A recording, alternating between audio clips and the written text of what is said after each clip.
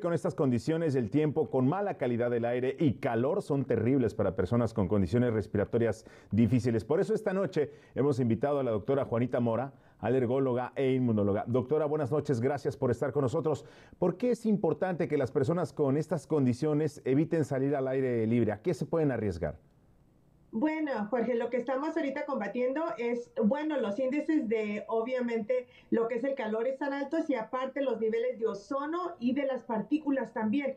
Entonces, para una persona normal se hace difícil respirar. So, imagínate las personas que tienen problemas pulmonares como el asma, lo que es el enfisema o cualquier problema pulmonar también los niños en lo que los pulmones están desarrollando, Jorge, o las personas mayores de 65 años o personas obviamente con problemas crónicos como es el diabetes, alta presión, problemas cardiovasculares. Entonces se torna más difícil respirar para ellos, especialmente si inhalan este aire con esta calor, Jorge. Bien, ¿y qué recomendaciones les puede hacer a ellos precisamente para evitar que corran estos riesgos? Bueno, primeramente, Jorge, que si no tienen que estar afuera, que se me queden adentro. Segundo, este, que si van a trabajar afuera, como nuestros vendedores ambulantes, también lo que son las personas de construcción, usar una buena mascarilla si van a estar afuera mucho tiempo, una N95 mayor para no inhalar esto. Tercero, obviamente, si están tomando medicamentos para su asma o enfisema, que los continúen.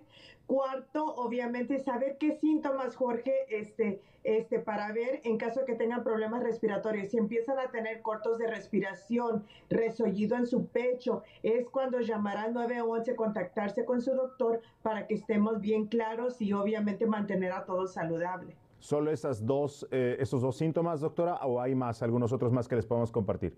Claro, otros síntomas, una tos que empieza crónica, que, que, obviamente una tos seca que no mejora, o a los niños o a los adultos empiezan a tener obviamente problemas respirando donde se va el pecho hacia adentro y hacia afuera.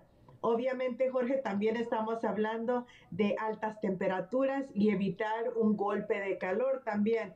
Así que tienen que hidratarse mucho, Jorge. Les digo a, a las mamás de los niños que a los adultos, a las personas grandes y a los niños, cada hora darles algo hidratante. Las uvas en la nevera o este, las naranjas también, Jorge, para cortárselas e hidratan.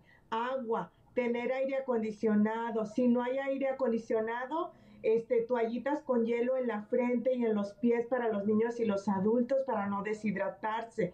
También si está muy caliente adentro de la casa, váyanse a caminar quizá a un centro comercial donde haya aire acondicionado para que se refresquen. Y si tienen problemas, obviamente, donde empiezan a tener mareo, sienten problemas de deshidratación, no están orinando igual, obviamente se sienten fatigados, sienten que van a desmayarse, también ir al cuarto de emergencia y este, obviamente buscar ayuda. Muchas gracias por todos estos consejos, doctora Juanita Mora. Muy amable. Siempre un gusto, Jorge. Gracias, que esté muy bien. Hasta pronto.